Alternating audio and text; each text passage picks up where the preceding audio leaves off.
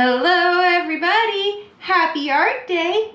Welcome to Freak'n Art! I'm Anastasia and I'm so excited that you decided to join me to make some art today. Today we're going to make a really cool process-based painting. That's right, we're going to be making a painting using shaving cream and food coloring. Isn't that cool?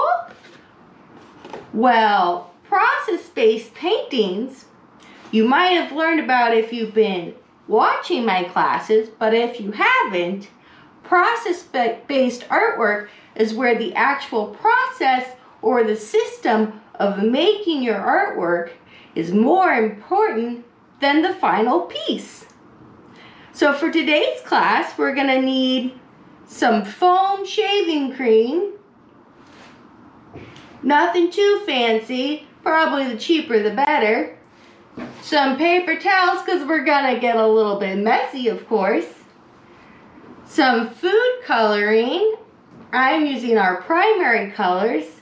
That's right, our yellow, our red, and our blue. If you don't have food dye, you can always use paint. The colors just might be not as bright.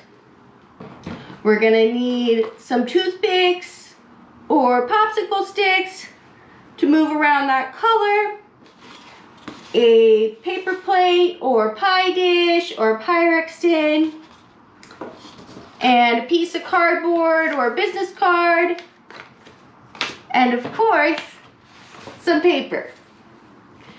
So before we start, let's do a little stretch and breathing so we can be really relaxed and focus for our super fun art project. Okay, everybody, let's breathe in and breathe out. Ah, that always feels so nice. Let's do it one more time. Let's breathe in and breathe out. Now let's roll our shoulders back and roll them forward and interlace your fingers and stretch out those fingers and hands and arms. Ooh, hmm. I feel focused and ready to make some art. I hope you are too. So as I said, if you don't have food dye, you can use paint. The images, the colors are just gonna be a little bit lighter, but it still works, so don't let lack of material get you down. These are what my super awesome marble paintings look like with the food coloring, just to give you a little inspiration. And really this is super fun and really easy and you get these really beautiful results. Now we are going to be making a little bit of a mess, of course, so you might want to put down some newspaper, so you don't get food coloring all over the place. I'm gonna just put this out of the way and we'll start. Okay, I think we're all set up and ready to go. Now first things first, you're gonna take your plate, your pie dish, your Pyrex, your baking tin, whatever you have, and fill it with shaving cream. Now it's really important that it's the stuff that's just foamy and not like jelly. Okay. So just go ahead and fill whatever container you're using with the shaving cream.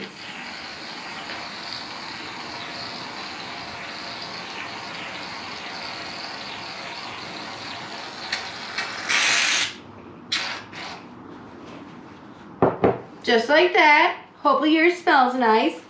This smells pretty good. Okay, next you're gonna take your food dye. These come with droppers, so it's easy to drop it on there. If you don't have food coloring, you can use the paint. You're just gonna wanna be able to drop it on the shaving cream. Okay, so I got my red here and I'm just gonna put some drops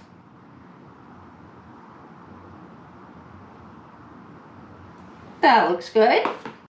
Now I'm going to take my blue and do the same thing.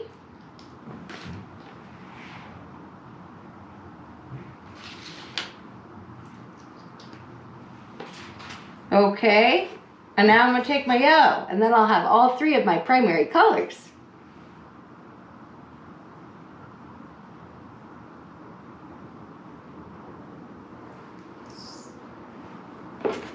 Okay. Now you don't have to cover the whole thing with colors because we're going to take our tool, whether it's a popsicle stick or a fork or a toothpick like I have, and make some swooshy motions to mix that food coloring into the dye there. That looks pretty nice. Now we're going to take our paper and you want your paper to be cut to the size or at least a little bit smaller, similar size to your vessel you're putting in. So if you have a big Pyrex dish or a baking sheet, you could use a really big piece of paper, but since I have this tiny paper plate, I cut down some tiny paper. I'm using some cardstock. Um, you could use watercolor paper, you could use whatever paper you got. It just might be a little bit crinkly if it's like computer paper, but don't let it get you down. Okay, this is the, where the magic happens. So we got our shaving cream and our food coloring and we swirled it around and now we're just going to press that paper down into that pile of shaving cream and food coloring. Feel it up. And now we're to take our piece of cardboard or your business card whatever you have and scrape off the shaving cream. You can see even I put down a piece of paper to catch all this because it's really messy. So I'm holding my paper with my fingertip and I'm just scraping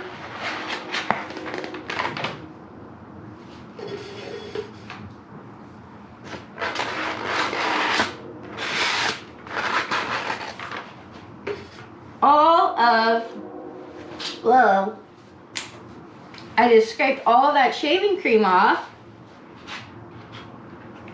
And look what's left. Isn't that pretty? I think so. And it's super fun to make. Now, we can do it again. You can do it a couple times on, on the same setup of shaving cream.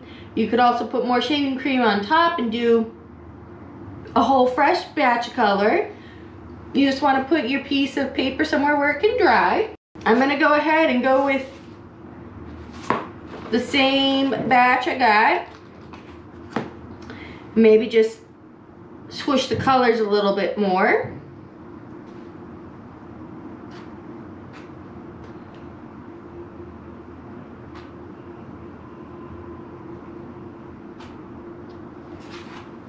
Like so.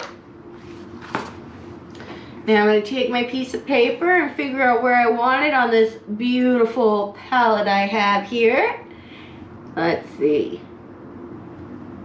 I'm pressing it down. You don't have to smush it in there hard. You can just press down gently.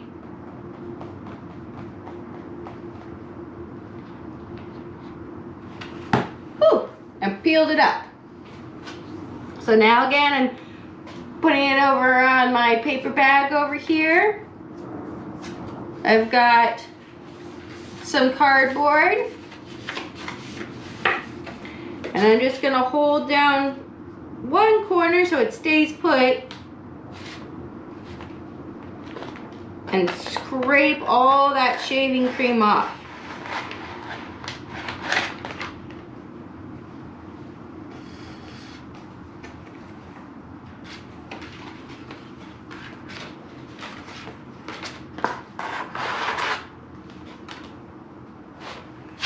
Voila! Isn't that fun? Super beautiful. It's a really nice way to make your own paper for your collages and your cards and all your fun art projects you have. Now, it's pretty dry right away, so you don't have to worry about it too much. But maybe put it over the side.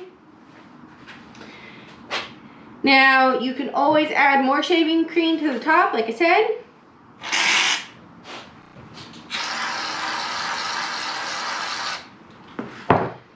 And then I'll, maybe I'll take one of my secondary colors here, my green.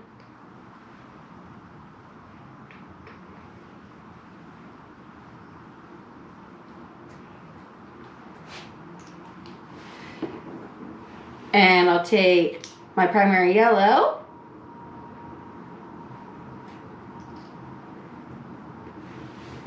And maybe a little bit of blue.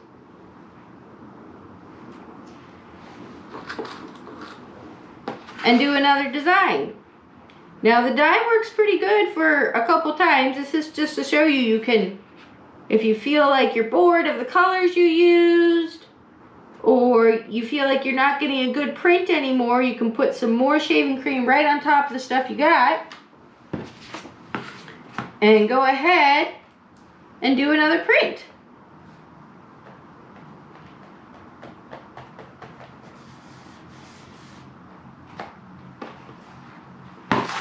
Whoa. Let's scrape that off.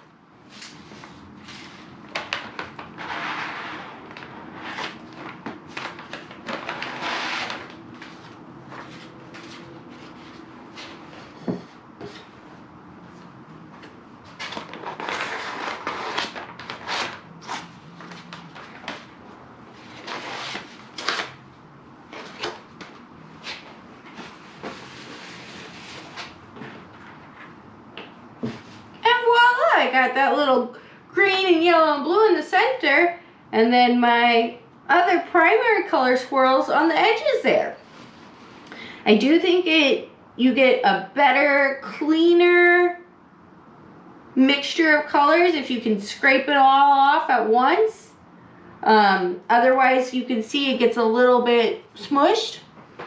But don't let that get you down. You just keep on trying and figure out a good system or process that works for you. Well, I think these are really great and a fun way to make your artwork. I sure hope you liked today's class. I did. If you did like today's class, please like and subscribe and share with your friends. It helps me continue to make these fun art classes for you here on YouTube. If you have any questions, feel free to reach out. All that info will be in the box below.